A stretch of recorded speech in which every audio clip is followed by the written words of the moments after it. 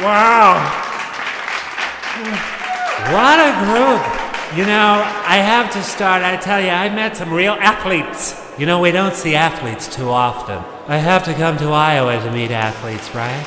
I have to come, right?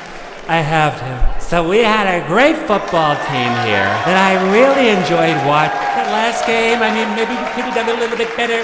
Where's my football team? Get over here, football team. The football team. Come on, University of Iowa. Look at the size of these guys. They're monsters. He's. We got the next Tom Brady right over here. The quarterback, he's going to be the next Tom Brady. the next Tom Brady. Come on. And I know Tom, and he's a great guy. I want to tell you. Come on over here. Look at the size of these guys.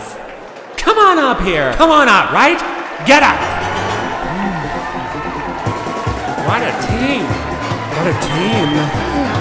They were so nice. They endorsed Trump. They like Trump, and I like them. I love you guys. Look at the size, how big, how strong.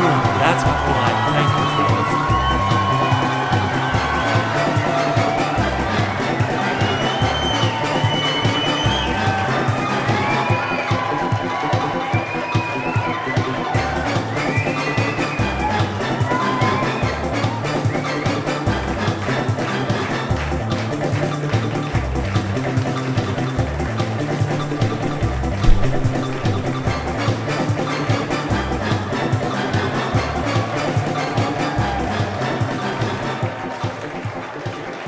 So now, I met some other guys who are really in serious shape. Believe it or not, I wrestled. I was such a lousy wrestler. I was. We have an undefeated team.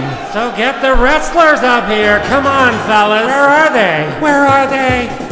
These guys. I'm not messing with them. I said to a couple of them, they weigh half my weight. You think I could take them? The other guy said, no, sir. I'm sorry. Look at these guys. Undefeated team, University of Iowa.